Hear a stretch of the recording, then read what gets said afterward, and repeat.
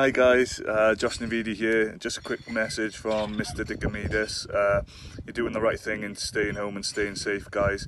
Um, just make the most of it that you can spend as much time on Fortnite now and not get shouted out by your parents. So uh, make sure you stay home and stay safe.